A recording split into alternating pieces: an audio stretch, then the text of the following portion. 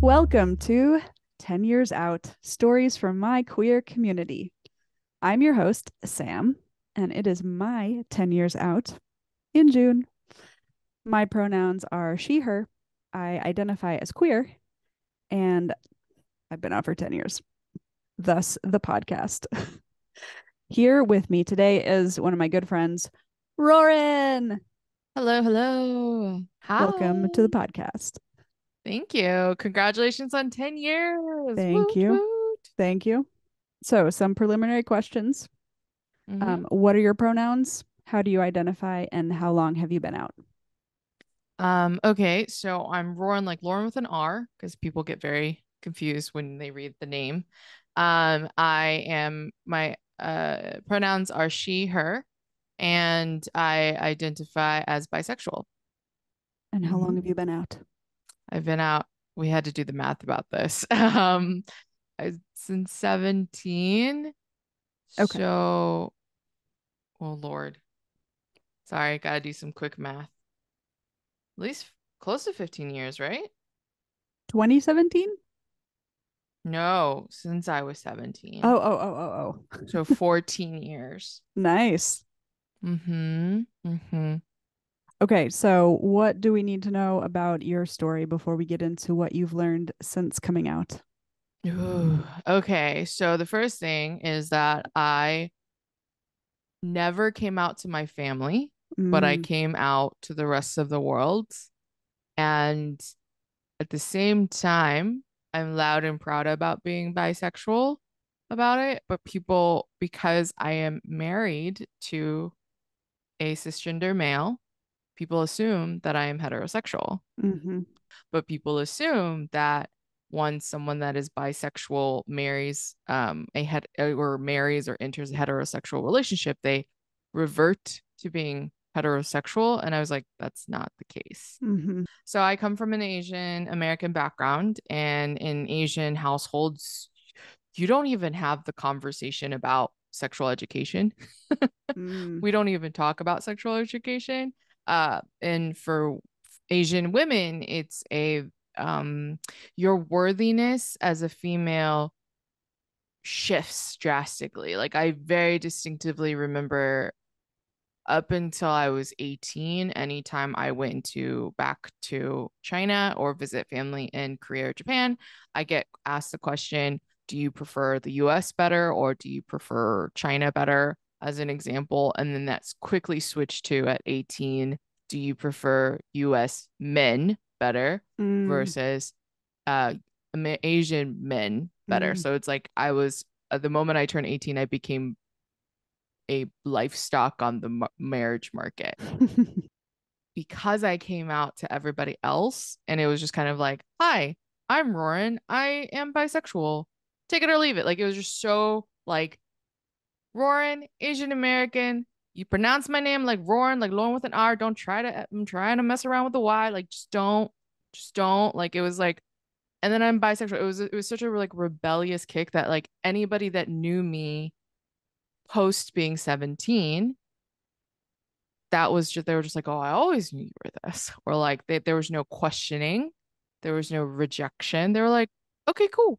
There is hesitation in announcing it to my elderly grandparents or like direct parents in my family because there are other family members that uh, were closeted at the time that created a lot of pain. So it's not just a against sin because we don't have Catholicism in China. Like that's not our religion. Mhm. Um, and in fact, transgender is more accepted Mhm. in China. We talked about this before the call that one of the most famous uh, night show hosts in China is transgender, and her and her sex change was paid for by the Chinese army. So like it's, but also gay marriage is not legal in China. So there is that like mm, it's allowed and tolerated, but not Mhm. like truly allowed. Um, it's there's no religious uh backlash Right. because again it's not there's no catholicism or christianity in in china I'm glad that you came on because I think you're the first person that I've talked to who hasn't grown up in an evangelical Christian background. so okay this is this this is where my coming out story gets really funny is um i went to an all girls catholic school in Mhm. high school at 14 and at that time i have not acknowledged like being bisexual or lesbian or any attraction. I was deep deep deep in the boy band loving phase. Hmm but my introduction to like evangelical or christianity and their like like their uh the the traditional anger at lgbtq community um was i got sent to the principal office one day out of the blue i was like what did i do and apparently there was a girl to this day the identity has not been known to me i have assumptions but the identity was not known to me and apparently she couldn't get out of bed or leave her bed because she was so distraught that she likes me. Oh. But I was asked if I came on to her. Oh. Like I was so touchy feely Oh. and it confused her. So Oh, there was no. like, I got asked Mhm. by the principal who was honestly not equipped at all to have this conversation. And she was like, Are you, she was like, Do you like girls? And I was like, Um, no, I am overly infatuated with like this boy band that I'm obsessed over because I was at the height of my like boy band Right. obsession world. Um, and I was like, Huh? What? And that that was my first, I was actually like my first introduction to LGBTQ language Right. and I w- and simultaneously with uh Christianity. Yeah, that's so interesting. yeah. I hope that girl finally got out of bed at some point. I think she did. It always rubbed me the wrong way, but I also came out of a culture where they banned access to Christianity. hmm And so to me, it wasn't the end all be all belief Mhm. point Right. because I had a country where there is no end all be all religious point. Yeah. Yeah. It makes such a difference. Yeah. That's that's so interesting. What have you learned since coming out? it's all about progress at the end of the day. Right. People are like, I want change. We want change. And I was like, change literally doesn't happen overnight. The in the specific case of like LGBTQ, it is a similar narrative to a lot of different heritage pieces. It's like it's a group that was people are like, it's marginalized. And I was like, people don't understand what the word marginalized means, but they understand the language of this this person who is a human being who has rights to be treated and respected as a human being was treated not as a human Mm-hmm. and pushed down Mm-hmm. and having pride month and yes there are legal legislation that we are fighting for in pride month but the overarching tone is that we just want humans to be treated as human beings Mm-hmm. it's bite-sized progress like we're still Mhm. seeing a lot of um overblown proportions of hate that is dehumanizing other people uh using scare tactic tropes that is also based a lot on misinformation half the time Mm-hmm. um like the whole target scandal like that was that was just completely blown out of proportion I don't so even understand levels. what people are mad about. So, okay. So, and people need to understand there's two things. Social media is a reflection of humanity and it operates in an engagement like the people, the public's people court of opinion. Mm, So, everybody has an opinion. There are mhm. two sides usually in this argument, most of the time in these topics, but there's no judge basically moderating it, right? right. Like, there's no one calling BS and rolling people in instead you have an algorithm that creates these rabbit hole tunnels.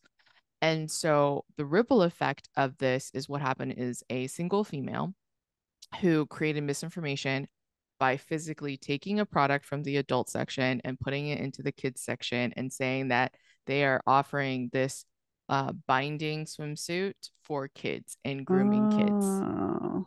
And it has been proved time and time and again that that was not true. The problem is twofold. The first fold is um, that it hit mass media where you had um, Fox News in this very specific case. They didn't fact check her and Mm. took the TikTok video as fact and then didn't elaborate on the topic. Like I watched the actual Fox News clip and I was like, where's the extended narrative? Where's the con? You can take that viral video and then add context. That's part of journalism, but there was Mhm. no context added. Mhm. Um, so it, it that was the mass media narrative, and then the the actual like engagement on social is what happened is is that this woman has an audience because she talks about gun ownership. Oh. it also rabbit holes into can rabbit hole into extreme. So that video happened and then simultaneously after that there were a couple of videos created by gun accounts. That's that there was video of a man holding an ar-15 saying i am against this and if target doesn't take these stuff down i'm going to go in and shoot up a target wow. that's the video and it takes like a 24 hour cycle of videos being reported for it to be taken down right but in that that 24 hour cycle is all it takes for it to mushroom even more and so that That's expanded crazy. into bomb threats people going in and vandalizing on these pride displays in the store Yeah. and then eventually target got to a point where they're like we have to pull it down for the safety of our people. And then that's where you hear liberal side media bashing them. They're like you can't do selective pride. And i was like businesses can have a voice but they also have boundaries in how they operate.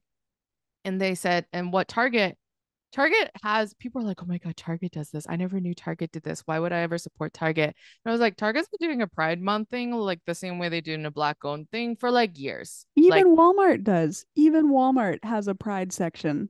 oh even walmart wow even walmart has a pride section like that's like a branding okay Yes, they have Yeah. pride tees. They have pride. uh, They literally have made a shirt this year that says pride or die. Pride or die. I mean, that's terrible, but also Walmart made it. I went into Target today because one of my guests who I've had on Mhm. had this really cool rainbow shirt on and he said he Mhm. got it from Target. And so I went in to see if I could find one and I did. Mhm. And then in the pride section, I also found this really cool shirt that I'm obsessed with. It is my first short sleeve button up collared shirt, first of all. Second of all, it says your story matters your I story matters. that. Yeah, it says break the mold and it says speak up. Oh, it's so it is my new favorite shirt. And this is from Target's Yeah. Pride section. I love it. Yeah, like people are like, "Oh my god, it's there in the kids section." I was like, brands, retail brands have a pride section the same way they have a Christmas section. It is Mhm. literally in the same physical location and they change it for Mhm. Halloween, for Christmas. Like it's been this way since 2019, y'all. Before the pandemic. I want to go Mind- back to what you were saying Yeah. about small progress and progress in Mm. bite-sized chunks because we have made progress. Um like I just recently watched an Andy Warhol documentary and he spent a lot of time in nightclubs and surrounded by the LGBT family. And um things were so different back then compared to how they are now. Like so much more oppressed so much more dangerous. And plus the whole the whole AIDS epidemic, you know, was just like coming out and at its peak and that's crazy. But there has been so much progress between Yeah. the even ni- the 90s and now Mm-hmm. that we we have to celebrate the progress too. We have to celebrate the progress because as human beings, we need to know why we do something and then we need to get affirmation of why we do something, right? Like the instant Right. gratification thing is there. Yeah, we But need instead that of, like, reward. Yeah, it, it's like we have made that progress and in acknowledging it, we it gives us the strength to continue going after the stuff because like right. the progress that we've made it's a little it's a big old ball knot it feels like an iceberg because you're like oh i just fixed this iceberg but it's really this like deep knot and it's so many layers that we have to like unbind is. It's like a ball of rubber bands. I know but rubber bands are easier. I'm talking like hardcore knots that you just gotta like We wish you had nails like nails of steel to get out of. Yeah like Right. that's what it feels like and i'm glad that it's easier. I think it's also seeing the difference, seeing the conversation is huge because it's when it's it's when human beings are not represented or hidden Mm-hmm. that it creates otherism. Like if you Mm. feel like you're othered, it eats away at you because there's no Mhm. sense of belonging. Like we are children when they are born are so in tune to who they are. They are so they belong to themselves. And it is society that strips it away because they society says you have to belong to the group. You have to Whoa. belong to the crowd. That's so deep, Ruoyun. I have never heard anybody say it like that, and I I appreciate that.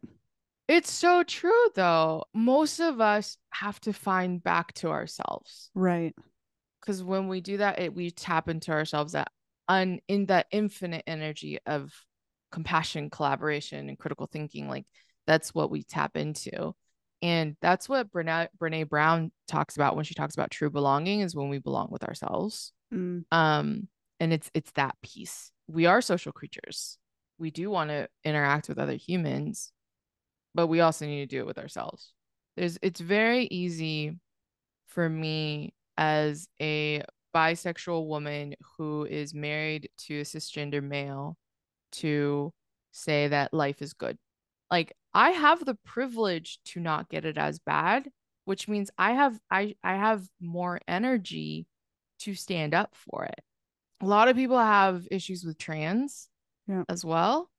And like people are like oh well okay gays are fine lesbians are fine buzzers are queer fine. And then they just get caught up in this being trans situation. And i was like you do realize that no one is actually using this to inflict harm on another person in Mhm. fact that person is so unseen that they hate themselves so much that they have complete they're so unaligned to themselves at a at a very core level and they're trying to they're taking a very brave step like people are like yeah they're trans i was like just do people understand the level of danger involved with like doing this transition do they understand that i was like They one don't. does not mess with hormones Yeah. this is not just they're like oh it's just plastic surgery and i was like No, it's not a No. comfortable thing to go through.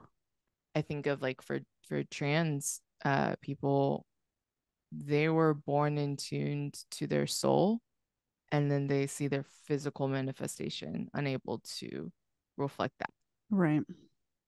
and that's like and taking that deep brave step coming into it like that's like the ultimate courage and I commend that Yeah.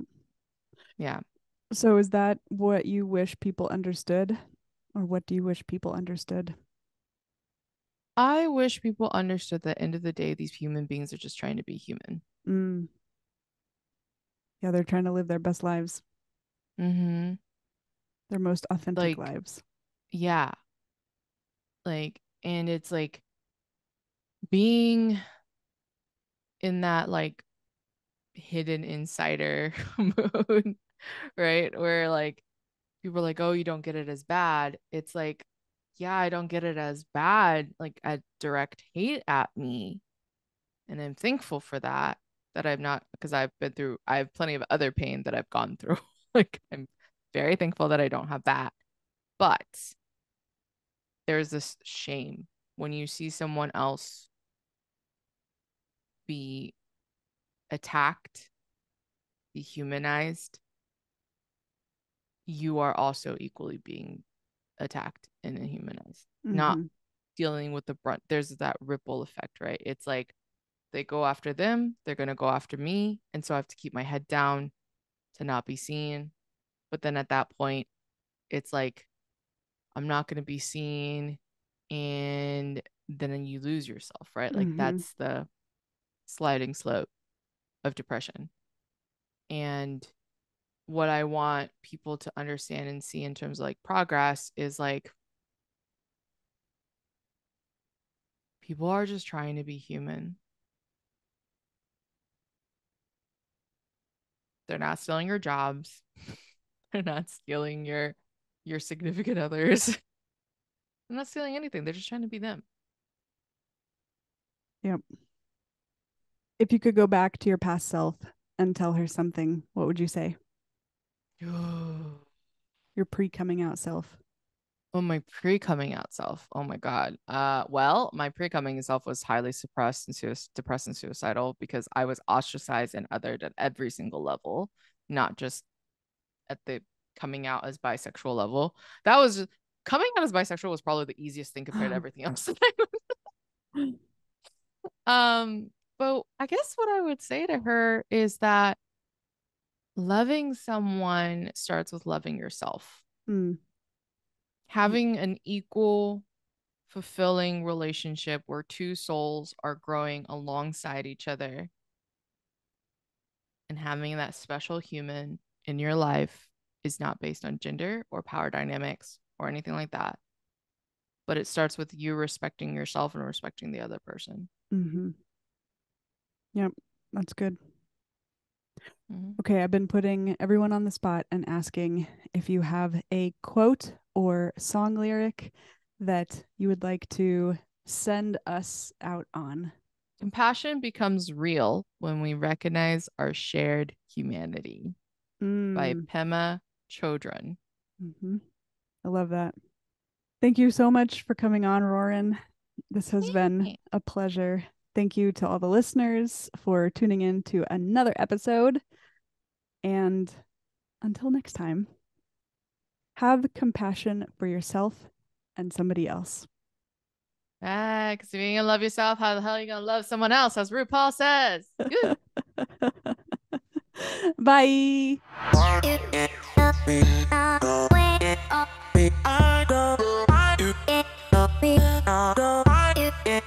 Bye.